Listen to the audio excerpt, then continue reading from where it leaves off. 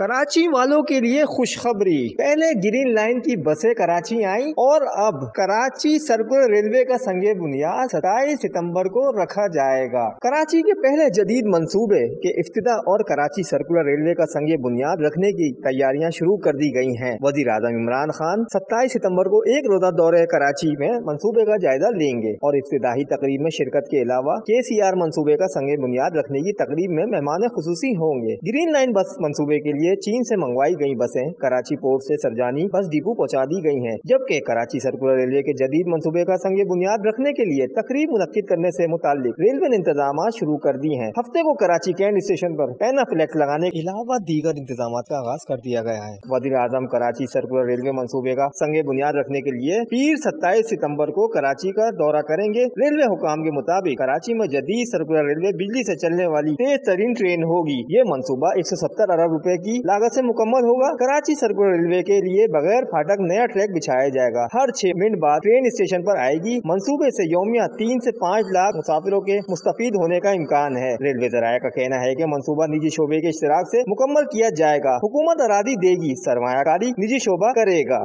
Adnan Siddiqui, Karachi.